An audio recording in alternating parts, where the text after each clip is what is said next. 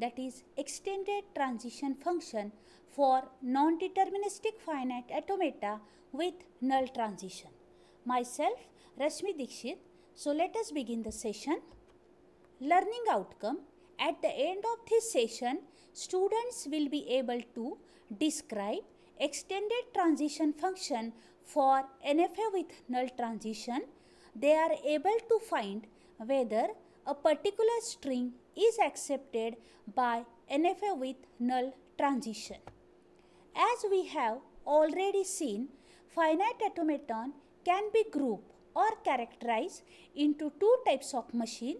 The one is deterministic finite automata where there is exact one path for each and every transition and non-deterministic finite automata there may be zero or more than one transition. DFA or NFA both accept the same type of regular language.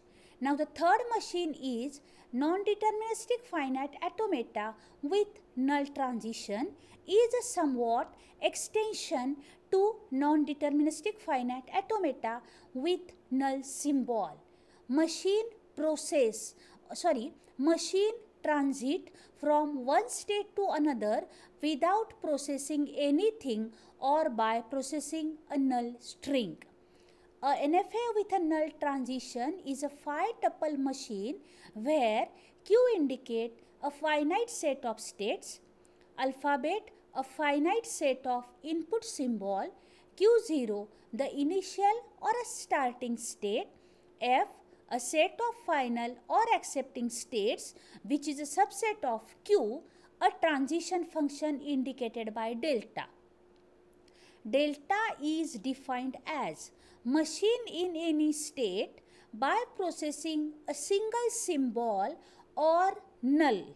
Machine move from machine move to one or more state that is 2 raised to q 2 raised to q is the power set of q, the set of all subsets of q. See the difference here in DFA, NFA and NFA with null transition. In DFA, machine in any state, by processing a single symbol, machine either remains in the same state or move to the next state.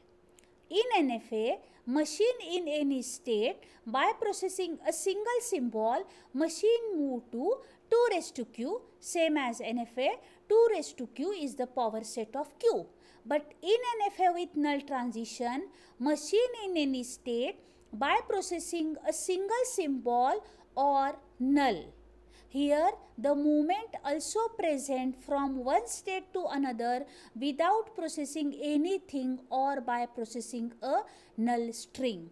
That is a main characteristic of non-deterministic finite automata with null transition.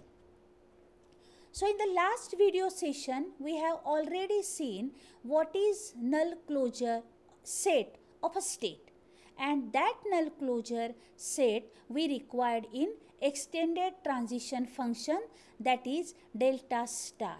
As we have seen in DFA or NFA, extended transition function represent where the machine end after processing a complete string. Same as for NFA with a null transition where the machine end after processing a complete string but here machine state move from one state to another without processing anything. So let's see the recursive definition. Let M with a five tuple Q alphabet initial state set of accepting state and transition is an NFA with a null transition the extended transition function which is indicated by delta star is represented as machine in any state by processing a complete string where the machine move that is 2 raised to q is defined as follow. For every q or state which belongs to q extended transition function from q for null is null closure of that particular state. For every q which belongs to q, Now Y is a string and A is a symbol. So extended transition function for a string is null closure of that is by combining a result set which is uh, which we will get after processing a complete string except last symbol that is delta p comma a where p will take the value of extended transition function from q to the complete string y. A string x is accepted by machine if delta star q comma x intersection a is equal to phi. So let us we will solve one problem so that you will get a clear idea of how to check whether a particular string is accepted by machine or not. Let's see this diagram where Q is the initial state, W is the accepting state. Now see here from Q by processing a null machine move to PT same as S from S without processing anything moves to W, from W to Q0, from Q0 to PT. That also uh, that we we have seen in the last video. So now we will solve the one problem for extended transition function.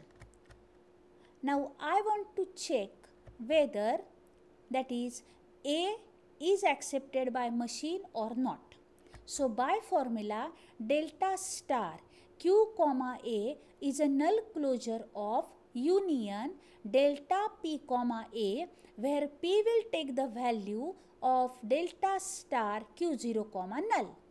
By definition we know that is delta star q0 comma null is null closure of q0 machine remains in the same state after processing null but as it is NFA with a null transition so null closure of Q0 so we will start from Q0 so from Q0 without processing anything machine move to P and T.